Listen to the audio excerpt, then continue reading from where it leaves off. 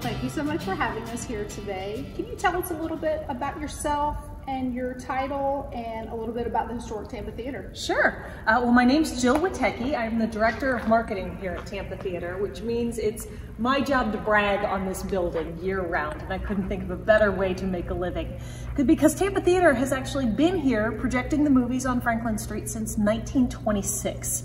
We opened as a silent movie palace uh, 95 years ago, and for the first several years of our existence, all of those films were accompanied by a 21-piece orchestra and our original Wurlitzer organ. These days, uh, we are owned by the City of Tampa and we are operated as a nonprofit organization by the Tampa Theatre Foundation. That's who I work for.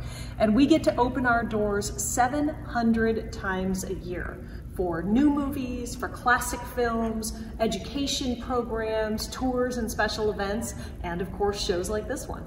Yeah, we're very excited to be here. This is a really great venue. I did notice these seats are pretty cushy. I think you must have gotten some new seats since I was here last. Definitely. So back in 2018, we underwent the first major restoration that we've done since the 1970s. Wow. In the 1970s, that's when the city actually rescued the building and they did a lot of work to get it back open to the community. Um, so after 40 something years, it was time uh, and we put about $6 million into the building. A big portion, probably the most public facing portion of that restoration work was uh, all of the paint and plaster restoration in the lobby and then new seats, carpet, and drapes in here.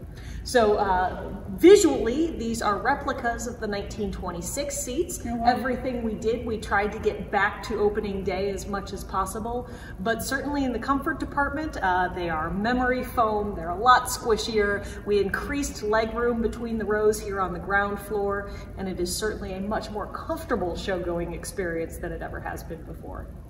Jill, can you tell us a little bit more about the Tampa Theatre, how people can get information uh, to purchase tickets, and maybe about some of your social media as well? Certainly. Well, first of all, I will say that we are a community-supported organization, and it is because of folks like you at Turning Point that we can do what we do. So thank you for the good work that you do.